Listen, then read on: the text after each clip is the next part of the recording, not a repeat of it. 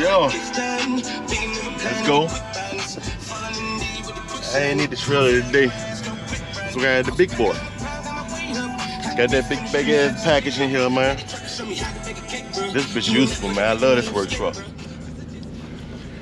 So we got to go deliver this big bitch and um get back started with the day. You know what I'm saying?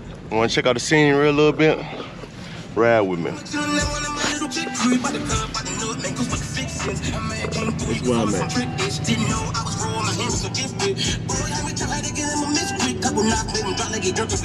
Somebody ride after I start with some. Throwing up both of sets, the friendship. Get respect, neck to neck, my brother back down. I don't feel nothing.